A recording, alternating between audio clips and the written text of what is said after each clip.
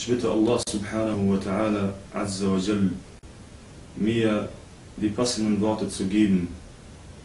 Ich bitte Allah subhanahu wa ta'ala, dass er mir die Knoten von meinen Zungen nimmt, inshallah, um das Richtige zu sagen, damit meine Brüder, meine Geschwister im Islam, Alhamdulillah, Rabbil Alamin, meine Worte verstehen und versuchen, dies inshallah in Tat umzusetzen. Inshallah, das, was ich sagen will, ist ein Nasiha. Nasiha ist ein Ratschlag an die Jugendlichen der Ummah und an alle anderen, inshallah, Rabbil Alamin. Warum besonders an die Jugend? Die Jugend der Ummah ist heute sehr verwirrt. Sehr verwirrt. Sie folgen viele Menschen einfach so blind, ohne sich zu vergewissern, ob das, was ich von diesen Gelehrten oder von meinem Sheikh oder von irgendjemandem gehört habe, richtig ist oder falsch ist. Denn ein Muslim oder eine Muslima ist verpflichtet von Allah subhanahu wa ta'ala zu wissen, von wem sie das Wissen nehmen. Es ist Pflicht. Man darf nicht das Wissen von irgendjemandem nehmen. Es gibt ein Hadith des Gesandten Allah sallallahu alaihi wasallam. Diesen Hadith haben wir bestimmt mehrmals gehört. Aber oft ist es so, dass wir lesen, Koran lesen oder Hadithe lesen des Gesandten Allah sallallahu alaihi wasallam,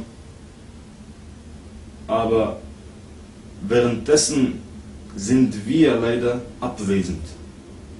Und mit Sicherheit, derjenige, der den Koran oder den Hadith mit einem abwesenden Herzen liest, wird niemals die Worte Allah subhanahu wa ta'ala und die Worte seines Gesandten sallallahu alaihi wasallam verstehen.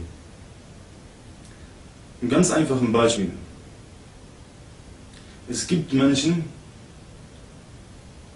die sehr besorgt sind. Die haben viele Sorgen, die sind häufig mit sich selbst beschäftigt, mit ihren Problemen beschäftigt, so dass man, wenn man mit ihnen redet, sie hören dir gar nicht zu. Er guckt dich an, aber er versteht nicht, was du sagst, weil sein Verstand in dem Moment abwesend ist.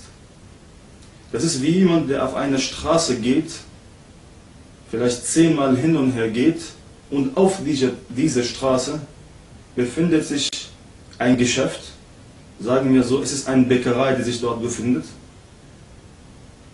Aber dieser Mann geht auf diese Straße hin und her mit gesenktem Kopf und nachdenken die ganze Zeit.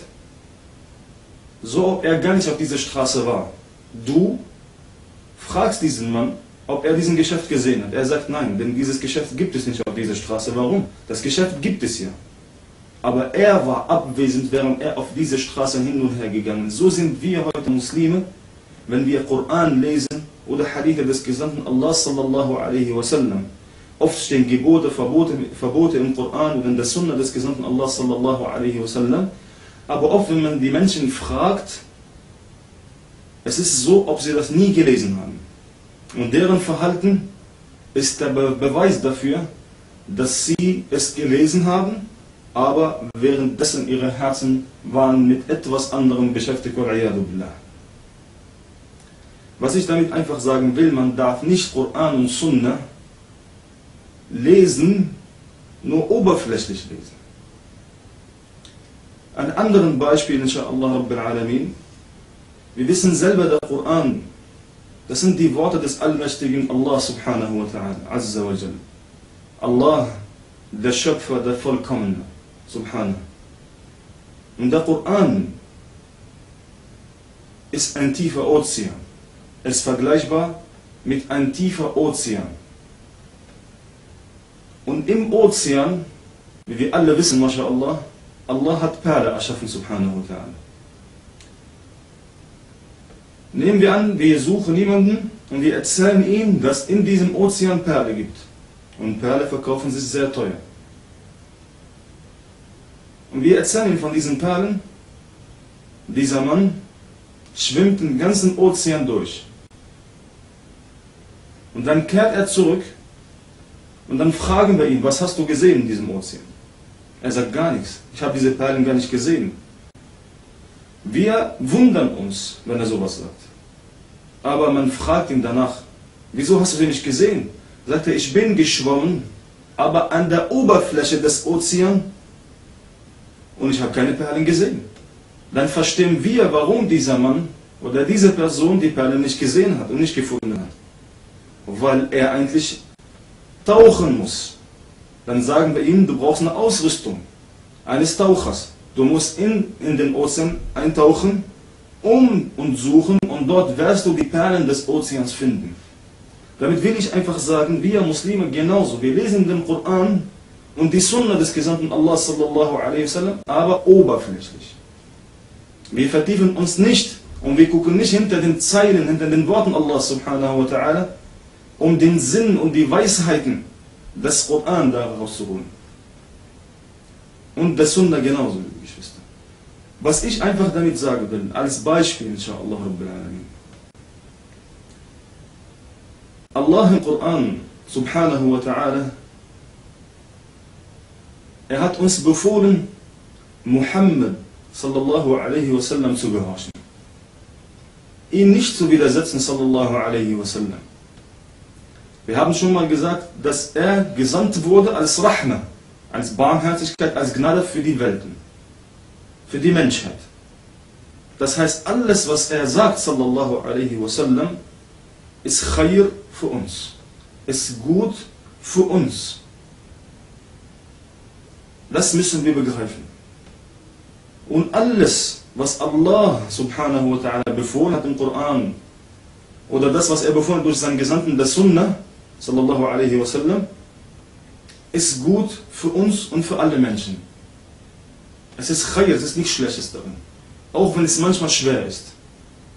Das ist wie bittere Medizin. Die Befehle Allahs und seines Gesandten wasallam ist wie bittere Medizin. Die muss man aber nehmen um geheilt zu werden, inshallah.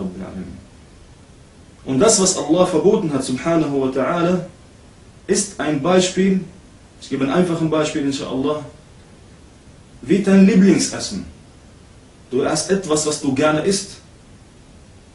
Nehmen wir an, du isst gerne Torten, aber diese Torte ist innen drin vergiftet. Du hast Hunger danach, du willst es essen, Du hast ein großes Verlangen danach. Aber dann kommt jemand und sagt dir, du darfst es nicht essen. Dann wunderst du dich, warum? Dann sagt er, diese Torte ist vergiftet.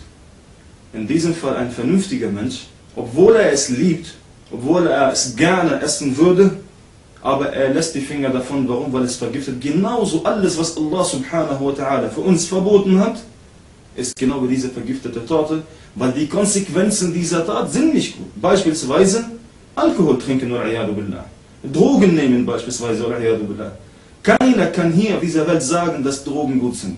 Und keiner kann sagen, dass das Alkoholtrinken gut sind. Dann braucht man nur zur Landesklinik zu gehen, dann werden wir sehen, die Konsequenzen dieses Rauschmittel, diese Gift, welche die Menschen zu sich nehmen. Das ist nur als Beispiel, billah.